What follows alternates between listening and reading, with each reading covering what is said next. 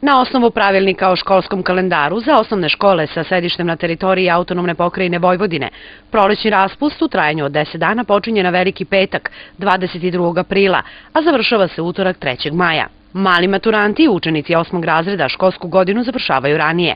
Posljednja subota u maju je i posljednji radni dan. Đaci osmog razreda ove godine prvi put polažu završni ispit pred upis u srednju školu, ističe direktorka osnovne škole Jovan Popović, Borka Popović. Završni ispit će biti kao i do sada što je bio prijemni u junu mesecu. Kada završe znači, u, u maju školu, posle toga će imati one dodatne pripreme iz srpskog jezika i matematike koje će škola organizovati svakodnevno.